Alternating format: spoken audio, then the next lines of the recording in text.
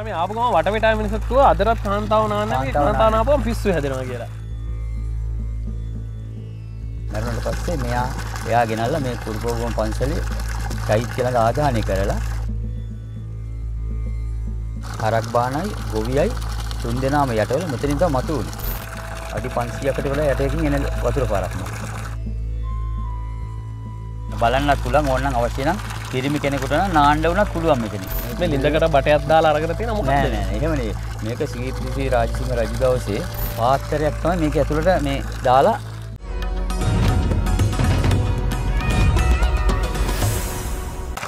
අයිබෝවන් ලංකාවේ සැඟුණු රහස් සොයා යන වෙබ් ගවේශණය හෙළ රහස්. හෙළ රහස් මොකද මේ පිහිල්ලක් ළඟට වෙලා කරන්නේ? ඇත්තරම මේක රහසක්.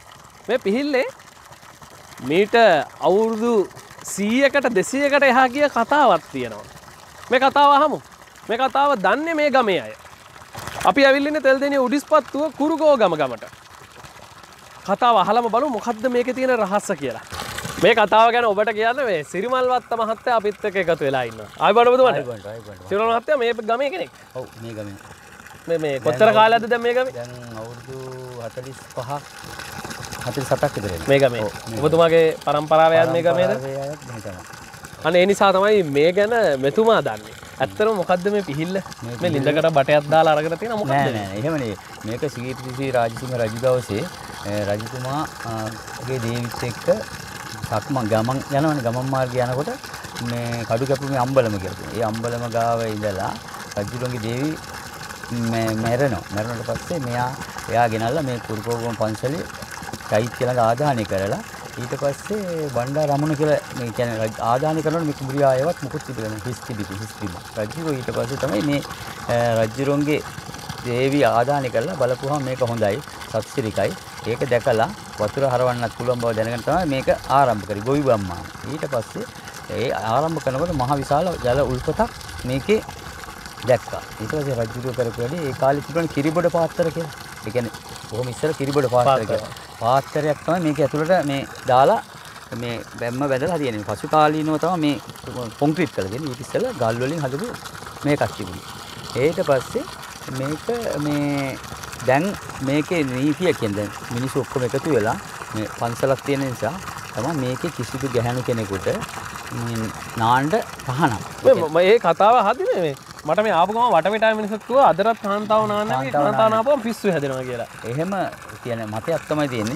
බොහෝ දුරට එහෙම- මොකද හේතුව ඇයි මේ මේ- කාන්තාවන් මේක- නාන්න මේක මේ මේක මතුවනේ ඉස්සර මේ මහරවෙල කියලා තියෙන ගමක්. ඒ මහරවෙලෙන් හරකයි, හරක් බානයි, ගොවියයි තුන් දෙනාම යටවල මෙතනින් තමයි මතුවුනේ. වතුර ප්‍රෙෂර් එකට ආවා. ආවා. ඔව්, ජීවිතෙත් එක්කම? දැනුත් මේ ජීවිතේ මැරිලා මැරිලා ආවේ. ඒ කෑලි කෑලි කොටස් වශයෙන් ආවා. මේ දැනටත් මේ මේ තියෙන්නේ මේ මතුවෙන වටින් අවටින් මතුවෙන්නේ තේ වතුර පාරවල් තමයි. එහෙන් එන වතුර පාර මෙතනින් මතුවෙනවා. මේකේට මූණ එහෙම දාලා මෙයා කරන්න බෑ. එච්චරකට වතුර ප්‍රෙෂර් එකට උඩට එනවා. මේ වේගෙන් විදිනවා මෙහෙම ක්‍රීස් ගල්. මේ උසින්ද පොළෙන් උඩට අඩි 5කට වැඩි ප්‍රමාණයක් උසලලා තියෙන්නේ පොළෙන් උඩට ඒකයි මේකේ විශේෂත්වය අනිත් එක තමයි මේකෙන් තමයි කුරුකෝගම් පන්සලේ දානමාන කටයුතු වලට බුද්ධ පූජාවට දැන් අරන් ගියේ. ඊට අමතරව හාමුදුරුවන්ගේ ස්නානය කටයුතු කරනවා ඊට අමතරව මේ ගමේ මිනිස්සුත් ගොවියොත් මේක එල්ල නානවා හැබැයි ගොවියොන්ගේ නෝනාව කියන්නේ ගෙවිලියෝ නාන්නේ නැහැ මේකේ ඒක අදරත් පැවතෙනවා අදටත් පැවතෙනවා ඔය එතකොට මෙහෙම කතාවේ හදි දැන් මේක මේ කාලයකට හිඳෙන්නේ නැද්ද හිතෙන්නේ මේකේ වැස්ස වැඩි වුණත් මේ ගාන අඩු වුණත් මේ ගානට. අධික වැහි කාලේවත් මේකේ වැඩි වුණේ නැහැ. අධික වැහි නැති කාලේ දැන් මේ කාලේ වැහිනේ. නොවැම්බර් දෙසැම්බර් උනත් වැස්ස එනවනේ අධික ලෙස. ඒ වැඩි වෙන්නේ නැහැ අඩු වෙන්නේ නැහැ. එකම ප්‍රමාණය. ඊට අමතරව මේක ඉතාම යටින් එනවා කියන හේතුව තමයි ගොළු බෙල්ලන්. ඒ කියන්නේ අර පොළවේ ගොඩක් යට ඉන්න ගොළු බෙල්ල අරන් බැලුවොත් ඒ එවුන් මේ මතුවෙන උඩට. වැල්ල අනිත සුදු වැල්ලක් මතින්.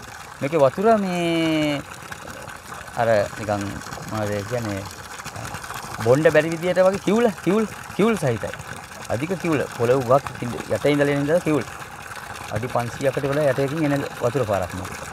මං හිතන්නේ මේවා තමයි මේ ලංකාවේ බලන්න ඕන දේවල් මේ ඇවිල්ලා මේ කුෂිකර්මාන්තයත් එක්ක ගත කරන මිනිස්සු කොරසා ජීවත් වෙන පරිසරයක් ඉතින් එහෙම පරිසරයක ලංකාවේ රහසක් මේ විදිහට සැඟවිලා තියෙනවා එන අදටත් මේක මේ මිනිස්සු මේක හරි ආදරෙන් ගෞරවෙන් ආරක්ෂා කරනවා ඒක තමයි මේ වල තියෙන වටිනාකම ඉතින් ඕන කෙනෙක්ට එන්න යන්න පුළුවන් බලන්න මේක. බලන්න වෙලාවක ඇවිල්ලා බොන්න- බලන්නත් පුළුවන් ඕනනම් අවශ්‍ය නම් පිරිමි කෙනෙකුට නම් නාන්න වුණත් පුළුවන් මෙතන. එහෙම කිසිදු. ගැටලුවක් නැහැ. ඔබට මේ ගමේ ප්‍රධානියත් තමයි ආරාධනා කරන්නේ එන්න ඕන කෙනෙක් ඇවිල්ලා මේවා විඳින්න. හැබැයි මේවා ආරක්ෂා කරන්න. එහෙනම් ඔබතුමාට බොහොම ස්තුතියි අපිත් එකතු. තවත් දවසක මෙවැනි ආකාරයේ වටිනා වීඩියෝකින් ඔබ හමුවෙන බලාපොරොත්තු වෙන්න හෙළ රහස් අපි අදට සමුගන්නවා. බොහොම ස්තුතියි